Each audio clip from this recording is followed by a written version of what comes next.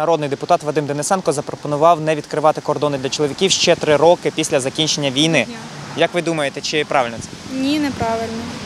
Ну тому що тоді жінкам треба заборонити. Він це е, спростовує тим, що ми втратимо націю. А як тоді чоловіки будуть між собою? Тоді жінкам також треба заборонити на три роки, та і все. Тоді буде чесно. А зараз це дурня. Це неправильно.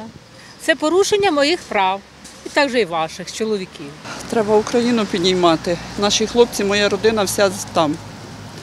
Воює за нашу Україну. Я ставлюсь до того положительно.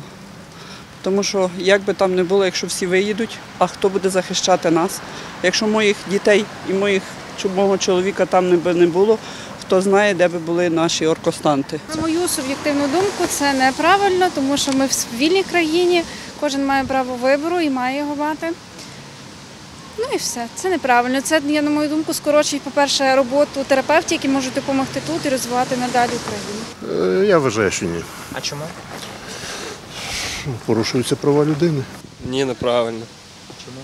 Тому ну як це не відкривати кордони після війни? Для чого це взагалі ну, робити? Ну, типу, в основному це, напевно, дуже великий мінус, тому що людям прикривають свободу.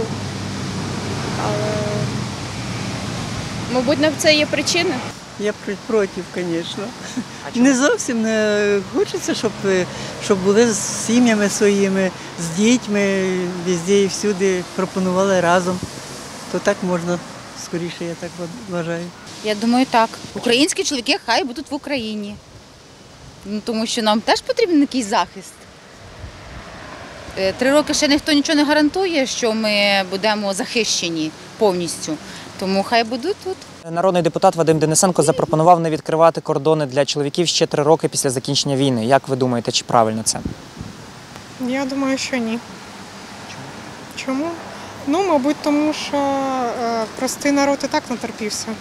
А якщо всі діти депутатів підуть отуди на фронт і замінять хлопців, то можна і не відкривати кордонів. Хлопці будуть тут он, десь на Закарпатті відпочивати.